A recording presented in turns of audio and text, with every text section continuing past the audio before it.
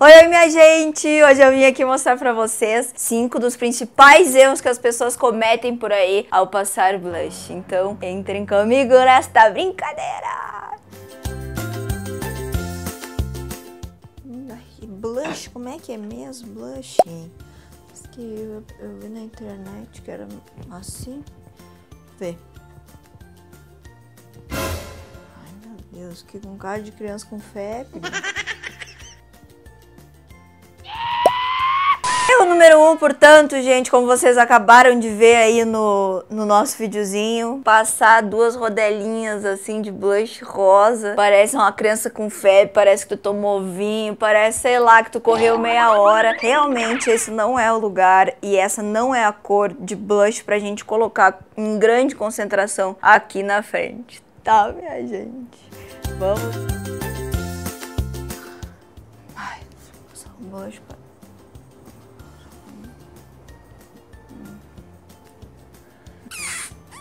É esse o lugar aqui mesmo, deixa eu ver. Assim que eu aprendi, né? Uhum.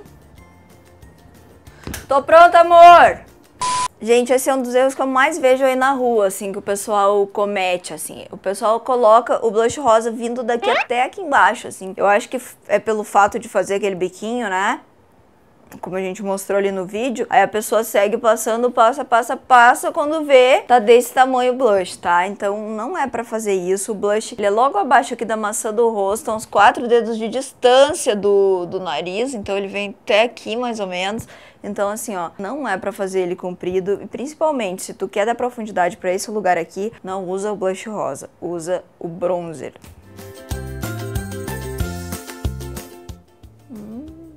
Tá meu agora o blush. Deixa eu ver. eu vi que a Alice Salazar falou que era bronzer. E é aqui logo abaixo da maçã do rosto. Né? Bronzer, bronzer não tem erro.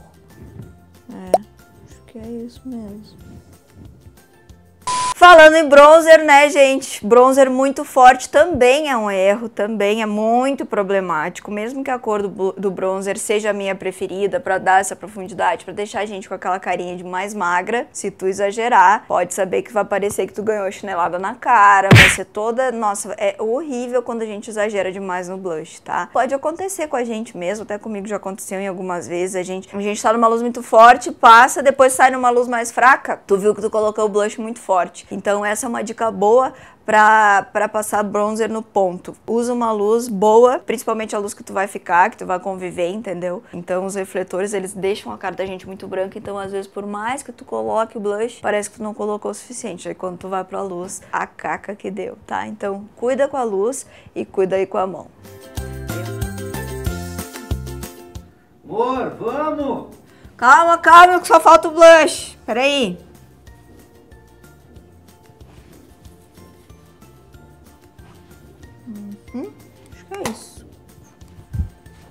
Blush rosa em cima da maçã do rosto, né, gente? Pra que isso? Isso não tem função nenhuma. Na verdade, o blush rosa, ele serve pra dar um arzinho de saúde pra gente, né? Então, o blush rosa vai servir pra quê? Colocou um bronzer aqui, afinou o teu rosto. Então, o blush rosa, teoricamente, ele não é pra ir aqui, porque ele tem a função de colorir o teu rosto. Não, ele não tem a função de dar profundidade. Então, aqui, colocou o bronzer e deu um toquezinho de nada de um blushzinho rosa aqui mais na frente. Agora, é para isso que servem os blushes coloridos, esses mais rosinhas, esse tom de pêssego. Deu a profundidade na bochecha, ficou mais magrinha e deu um arzinho de saúde aqui. Eu até acho bonitinho, não acho, não sou muito contra de fazer isso.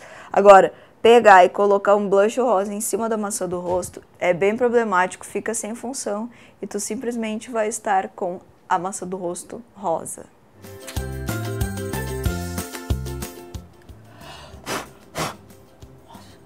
Gostei demais.